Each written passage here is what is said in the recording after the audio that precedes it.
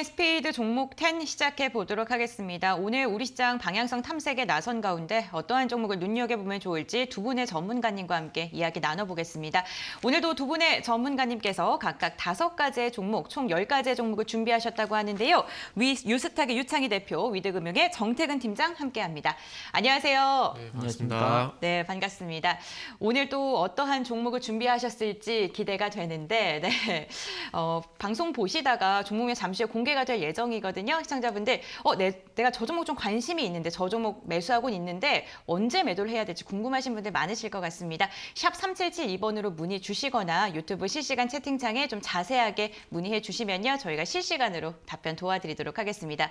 그럼 두 분의 전문가가 준비하신 10가지 종목 지금 바로 만나보시죠. 먼저 유창희 대표의 픽부터 확인해 보겠습니다. 첫 번째 S-오일을 시작으로 오스템 임플란트, OCI, 한국카본, 포스코케미칼 이렇게 다섯 가지 종목이 준비되어 있고요. 정태근 팀장의 픽은 LG화학, 한수물케미칼, 제준 코스메틱, 우진, 고려제강 이렇게 총 10가지가 준비되어 있습니다. 시청자 여러분들은 이 10가지 종목 중 어떤 종목에 더 관심이 가시나요? 네, 10가지 종목 확인하셨죠, 시청자님들? 어, 방송 보시면서 궁금하신 거 지금 바로 보내주시고요. 첫 번째 종목부터 바로 이야기 들어보겠습니다. 네, 유창희 대표님, 오늘 첫 번째 종목 소개 부탁드릴게요. 네, SOE를 선정을 좀 했습니다. 어, 계속해서 이제 실적 장세기도 하고 또 앞으로의 흐름들도 상당히 중요한 부분을 차지하고 있는데 결국에는 이제 그 이익률이 얼마나 높아질 수 있느냐에 따라서 뭐 실적이 좋게 나와도 주가가 하락을 하고요. 실적이 조금 안 좋게 나와도 어, 주가가 상승하는 모습을 연출되고 있는데 뭐 전유사들은 이익률을 가늠할 수 있는 게 정제 마진이죠. 정제 마진이 6주 연속 상승을 하면서 20달러를 돌파를 했습니다. 그래도 몇 번 말씀드렸습니다만은 뭐 한 5달러만 돌파해도 5달러 수준만 보여줘도 실적 엄청나다라고 말씀드려 말씀 이야기들 많이 하는데 지금 뭐 20달러 물론 이거 20달러가 뭐 계속 하진 않겠습니다만은 어, 과거 대비해서 높은 정제 마진은 실적에 상당히 기대를 할 수 있다 생각을 좀 하고 있고요. 특히 그 2, 3분기 이제 이것이 이제 2, 3분기에 반영이 되는 것이고 또 지금 그 석유 제품 수요가 엄청나게 늘어나고 있습니다. 특히 그 경유의 수요가 엄청 엄청 늘어나고 있는데 우리나라는 이제 그 생산 설비를 증설을 마무리했고 또 일, 경쟁국 일본 같은 경우 마무리 못했기 때문에 그, 어, 수출이 상당히 용이한 부분들이 있고 특히 중국이 경유 수입을 엄청나게 하고 있습니다. 그래서 그런 부분들이 또 그 반사 이익을 누릴 수 있는 부분들 기대해 볼 수 있지 않을까 생각을 좀 하고 있습니다. 그래서 전체적으로 본다라면 주가가 제가 그전에도 한번 SOE 3월 달인가도 한번 추천해 드렸는데 그때 대비해서 오른 게 별로 없어요. 그러면 앞으로의 어떤 기대감들 충분히 더 가져갈 수 있지 않을까 생각을 하고 있습니다. 네, 알겠습니다. 정제마진 개선으로 인해서 실적이 기대된다라고 말씀을 해주셨고요. 이어서 정태근 팀장의 첫 번째 종목 들어보겠습니다.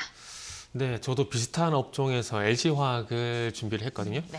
어, LG화학 같은 경우는 이번에 실적이 잘 나오게 되면서 결론적으로 LG에너지, LG에너지 솔루션 분사에 대한 우려감을 좀 시선에 따라 좀 볼 수가 있을 것 같습니다.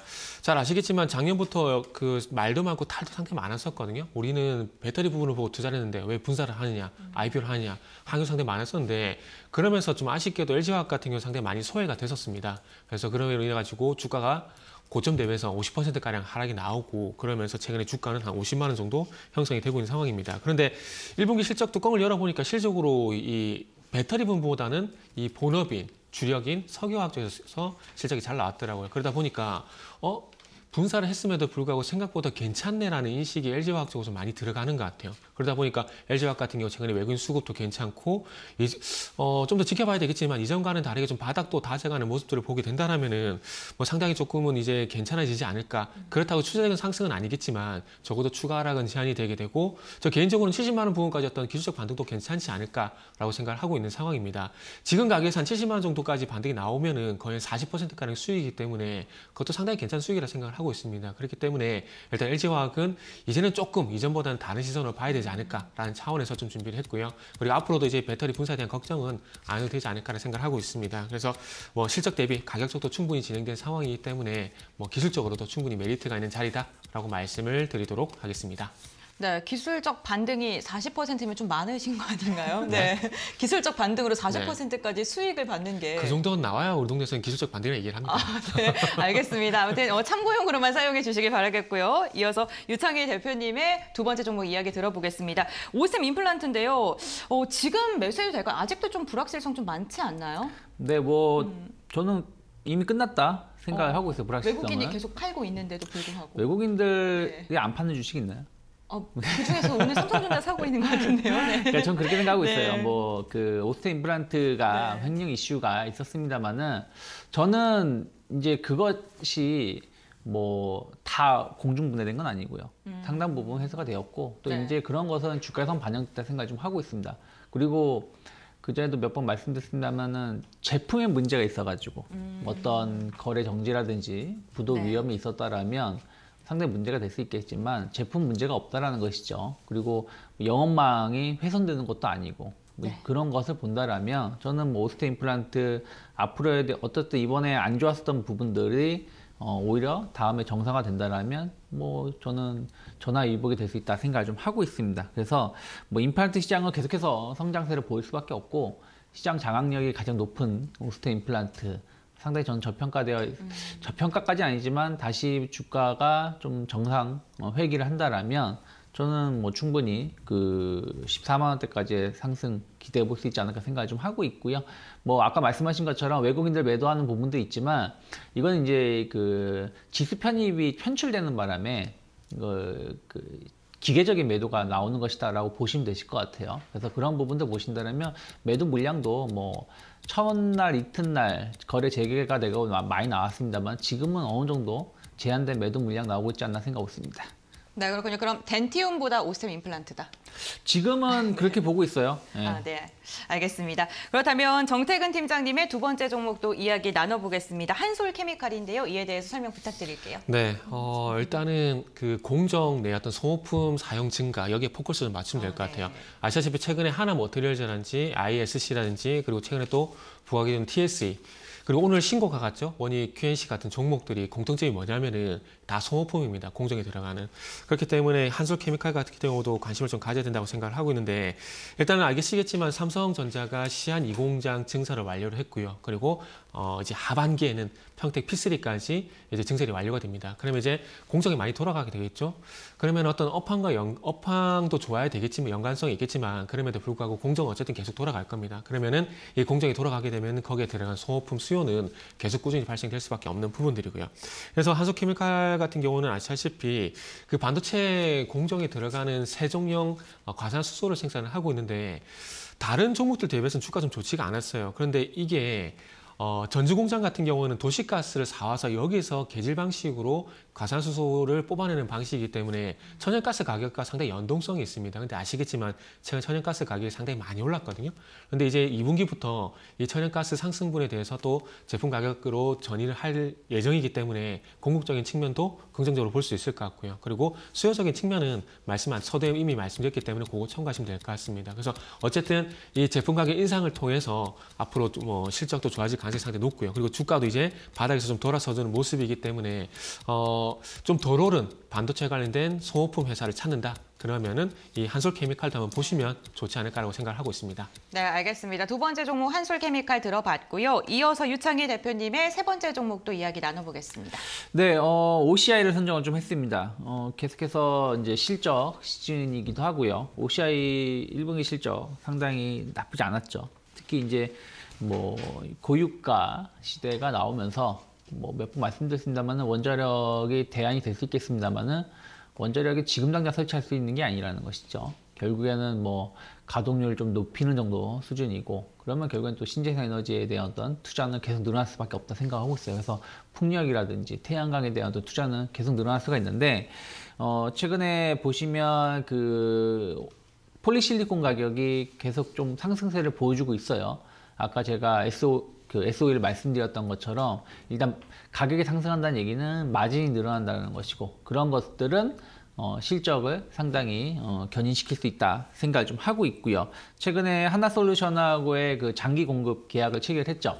뭐 하나솔루션은 태양광 패널을 만드는 업체고 어, 폴리실리콘은 OCI가 만들어서 공급을 하는 것이기 때문에 이러한 어, 장기 계약이 계속 이루어진다라면 뭐 안정적인 어, 매출 어, 구조를 이뤄, 이뤄낼 수 있다 생각을 좀 하고 있고요. 거기다가 이제 뭐 석유화학이라든지 에너지 솔루션, 뭐 개발 사업 부분 이런 부분들 저- 사업 이런 부분들이 전체적으로 우호적인 어, 환경을 보여주다 보니까 1분기 상당히 약간 그 폴리실리콘 사업 부분이 조금 생각했던 것보다 더 더딘 부분들을 상당히 해소해줬다 이런 것을 본다라면 충분히 저는 추가적인 상승 기대해 볼 수 있지 않을까 생각하고 있습니다.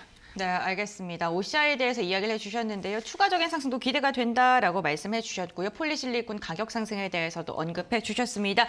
이어서 정태근 팀장님의 종목인데요. 제이존 코스메틱이에요. 근데 이 종목 변동성 좀 너무 심하지 않나요? 저는 좋아합니다. 아, 변동성, 네, 공격적인 투자를 네. 좀 좋아하십니까? 네, 네. 아, 네, 알겠습니다. 마스크팩을 사용 안 하시나 봐요. 아, 마스크팩이요? 제이존 코스메틱 거는 사용 안 합니다. 네, 감사합니다. 네. 어, 지금 어, 아시겠지만 이 네. 노마스까지 거리두기 해제 때문에 이제 화장품 그렇죠. 관련주들이 강세했다고 조정 받고 있잖아요. 조정 받고 있는데 일단 어쨌든 중요한 건 백화점이라든지 그 로드샵이라든지 이쪽에서 화장품 매출이 증가를 하고 있다라는 겁니다. 그리고 어, 네. 4월달 같은 경우는 백화점의 화장품 매출이 30%좀 증가했다는 얘기 가 또 통계로 잡히고 있는 상황이고요. 그러니까 어찌 보면 이 기대감에서 이제 앞으로는 수치, 그러니까 매출과 연결이 될 가능성이 상당히 높다라 좀 볼 수 있을 것 같아요. 그래서 어, 이 거리두기 해제로 인해서 뭐 물론 화장품을 전체로 다 봐야 되겠지만은 일차적으로 색조 화장품을 볼 수밖에 없을 것 같아요. 그리고 이 색조 화장품으로 커버가 되지 않는 부분들은 피부 미용 의료기기라든지 그리고 마스크팩이라든지 뭐 이런 도움이 좀 필요하지 않을까 생각을 하고 있고요. 그래서 마스크팩이라든지 색조 화장품 같은 경우는 어쨌든 이 거리두기 해제가 상당히 반가울 겁니다. 그래서 불황 탈출할 수 있는 계기가 되지 않을까 좀 생각을 하고 있고요. 그러면서 제이즌 코스메틱 같은 경우는 서대도 말씀했지만은 이 블랙 물광 마스크와 같은 마스크 제품들을 OEM 형식으로 이제 생산을 하고 있는 상황입니다.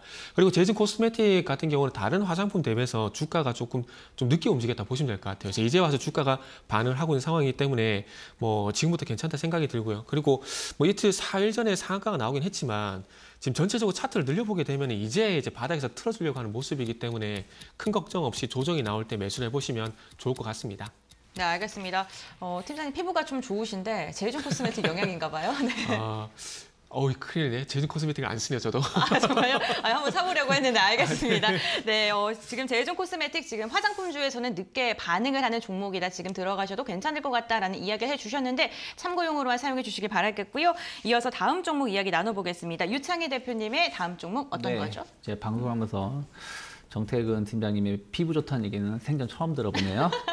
네, 한국 카본을 선정을 좀 해봤는데요. 어, 계속해서 이제 조선업황을 주목을 하실 필요 있죠. 조선업황은 계속 좋아질 수밖에 없고 특히 LNG선 중심으로 해서의 고부가 가치 선박이 어, 계속 수주를 보여줄 수, 증가를 보여줄 수밖에 없는 부분들이 있기 때문에 그렇다면 뭐 그 관련돼서의 한국 카본의 매출은 동반해서 늘어날 수밖에 없다 생각을 좀 하고 있고요. 어, 특히 이제 그 이 카본 제품이 예전에는 뭐 아시다시피 뭐 텐트라든지 낚싯대라든지 뭐 이렇게 어, 특수 제품 특수한 용도로만 사용됐었던 것이 지금은 상당히 전방위적으로 사용되고 있고요. 특히 이제 자동차 시장 쪽에 이제 카본 제품이 많이 진출하고 있습니다. 고급 차량들이 이제 그런 부분들에서 사용을 좀 많이 적용이 되고 있는데 이런 부분들에 대해서의 어떤 어, 새로운 어, 모멘텀을 가져갈 수 있고요. 또 배터리 관련해서도 배터리 케이스라든지 이런 부분들도 이제 카본 쪽으로 해서 카본이 상당히 이제 내구성도 강하고 어, 또 안정성도 좀 높게 나오다 보니까 이런 시장에 대한 성장 모멘텀도 전 충분히 가져가 볼 수 있다 생각을 좀 하고 있어요. 그래서 한국 카본 같은 경우가 전체적으로 봤을 때 최근에 주가도 어, 상당히 탄력적으로 움직이고 있고 뭐 조선 업황이 좋아지는 부분들이 있으면 조선주를 매수하는 것도 나쁘지 않지만 이런 기자재라든지 관련된 부품 업체들의 주가 탄력도는 더 빠르게 움직일 수도 있지 않을까 생각하고 있습니다. 어, 그렇다면 한국카본 오늘 52주 신고가 경신했거든요. 네. 오늘 접근해도 좋을까요? 뭐 항상 말씀드리지만 저는 그 고점 돌파하는 종목군들은 어, 뭐 네. 아주 이상한 이슈로 급등하는 게 아니라면 네. 저는 계속해서 주목하실 필요 있다 생각하고 있습니다. 알겠습니다. 한국화본까지 이야기 들어봤고요. 저희가 종목에 대한 이야기를 나누는 동안 또 중국 시장이 개장을 알렸습니다. 중국 상해 종합지수 같은 경우에 노동절로 오늘도 휴장을 하고요. 홍콩 항생지수는 0.36% 내림세로 출발을 알렸습니다. 2만 1,025포인트 선 지나가고 있다는 점 참고해 보시면 좋을 것 같습니다. 어, 지금 니케이 지수 역시나 하락세가 연출 되고 있는데요. 0.12%가량 밀리면서 26,818포인트 선 지나가고 있고요.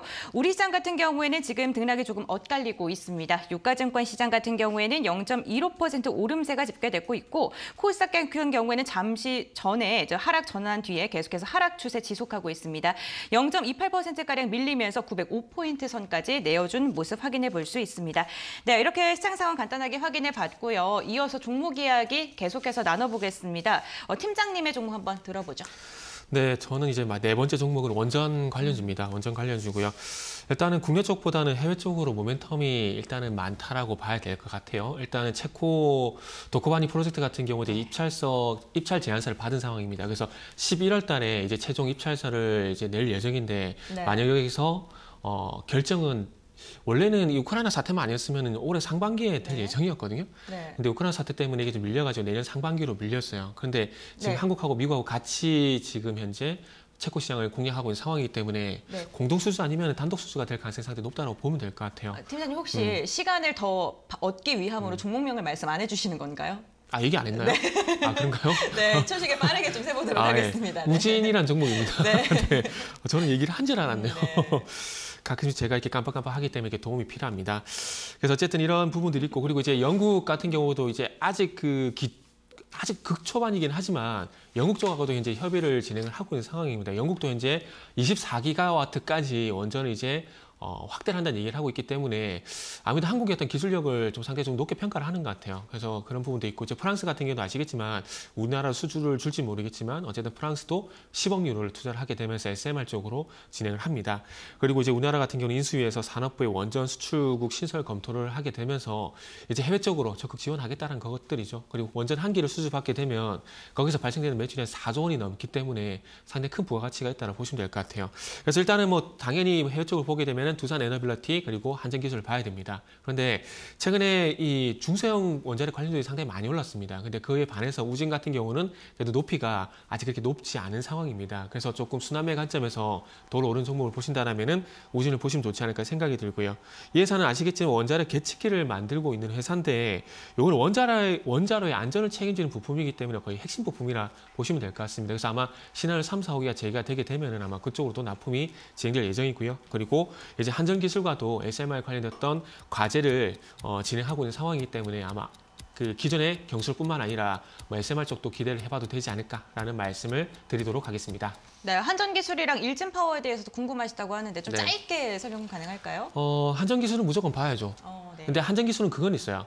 그러니까 해외 수주를 단독으로 받을 건가 아니면 미국과 공동으로 받을 건가 거기서 갈리는데 네. 단독으로 받게 되면 한전기술은 무조건 봐야 됩니다. 음, 그리고 인실 파워도 괜찮다고 말씀드릴게요. 알겠습니다. 참고해 보시면 좋을 것 같고요. 각각 네 가지 종목씩 이야기 들어봤고 마지막 종목도 말씀 나눠보겠습니다. 유창희 대표님 마지막 종목 어떤 거죠? 네, 포스코 케미칼을 선정을 좀 했습니다. 뭐 앞에서 뭐 LG화학 도 말씀하셨습니다만 결국에는 이제 계속해서 2차 전지라든지 배터리 관련된 시장은 성장세를 네. 보여줄 수밖에 없다 생각을 좀 하고 있어요. 어, 포스코 케미칼은 국내 최대 양극재를 생산을 하고 있고 또 거기다가 이제 증설까지도 하고 있죠. 그래서 이건 증설 효과가 아마 이제 2분기서부터 본격적으로 나올 가능성이 있기 때문에 그러면 뭐 1분기도 실적이 상당히 좋게 나왔는데 2분기 때도 이, 이상에도 그래서 좋은 실적 기대해 볼 수 있다 생각을 좀 하고 있고요.